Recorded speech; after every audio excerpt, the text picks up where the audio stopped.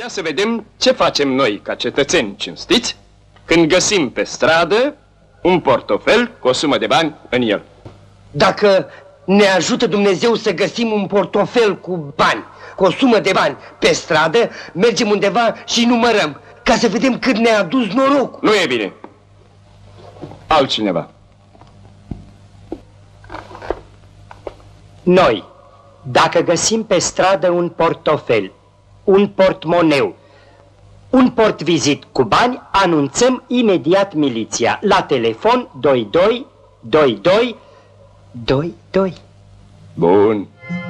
Foarte bine. Eh? Ăsta e răspuns. Felicitări.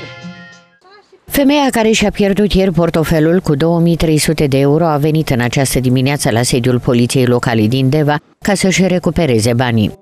Spune ce ați avut în pormoneu prima dată. Niște lei, Cât aproximativ? Pe o sumă exactă, știți? în jur de un milion. Așa, mai departe. Ce ați Pe urmă mai am avut 2000 și vreo 350, 2400, nu mai știu sigur, de euro. Așa, bagnote, cam ce ați avut? 20 și ceva de 100 și restul de 50. Așa.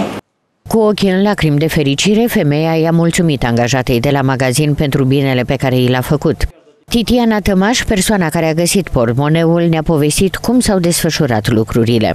Doamna respectivă a venit, a cumpărat un pachet de țigări de la mine, din care m-a dat o bagnotă de 50, am dat restul, după care a plecat.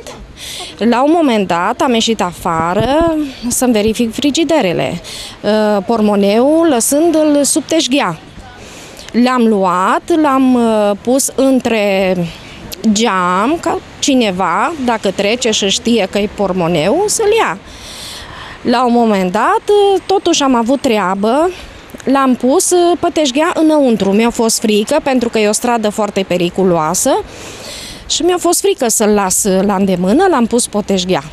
Iar pentru că nimeni nu a apărut ca să îl ceară și pentru că a văzut trecând pe stradă un polițist local, femeia i-a cerut acestuia ajutorul pentru identificarea persoanei care a pierdut banii. În cursul zilei de ieri, în timp ce se afla în exercițiu de patrulare pe zona de competență conform buletinului de serviciu, polițistul local a fost solicitat de vânzătoare unui chioș de produse alimentare situat pe bulevardul Iuliu Maniu, deoarece în dreptul ghișeului a observat un portofel suspect uitat de un posibil client. Motiv pentru care împreună au deschis portofelul, Uh, Ulterior, văzând că în interior se află o sumă foarte mare de bani, atât în euro cât și în lei, au procedat la conducerea persoanei la sediul poliției, unde s-a întocmit un proces verbal cu toate bunurile găsite în portofel. În urma indiciilor și obiectelor personale găsite în portofel s-a luat legătura cu păgubitul, care a fost rugat să vină astăzi în jurul orei 10 la sediul poliției pentru a intra în posesia bunurilor pierdute. Gestul făcut de Titiana Tămaș este un exemplu pentru oricine. Dacă ar exista mai mulți oameni ca și ea, cu siguranță am trăi într-o lume mai bună.